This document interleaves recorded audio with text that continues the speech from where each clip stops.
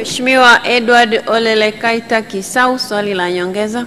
Mheshimiwa Spika, nakushukuru. Kwa Mheshimiwa Naibu Waziri, kwa kuwa mimi bado natafuta vituo vitatu vya tarafa, lini serikali italeta hela kwa ajili ya vituo vitatu vya tarafa?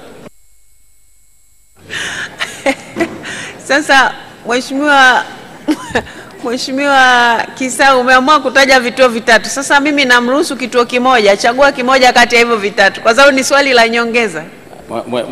Mheshimiwa Spika, unajua wengine wanataja za kata, sasa mimi bado niko juu sana za tarafa. Kwa hivyo nilifikiri nilifikiri mimi mnipe kipaumbele, tulisema za tarafa tumalize, alafu tuende kwenye kata.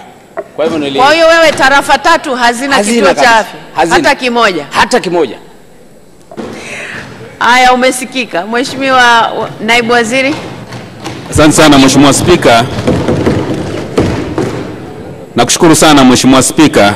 Mheshimiwa Spika, naomba tu nimhakikishie Mheshimiwa mbunge wa Kiteto kwamba pamoja na yeye bado kuna baadhi ya majimbo pia na wilaya zetu ambazo tarafa nzima haina kituo cha afya, na tunafanya mpango wa kuhakikisha kwamba tarafa zote ambazo zina idadi kubwa ya wananchi lakini umbali mrefu kutoka kituo kingine zinapewa kipaumbele kwenye vituo vya afya vya kimkakati. Kwa hiyo ni kuhakikisha kwamba tarafa ulizozitaja zitapewa kipaumbele kwa ajili ya ujenzi wa kituo cha afya. Asante sana.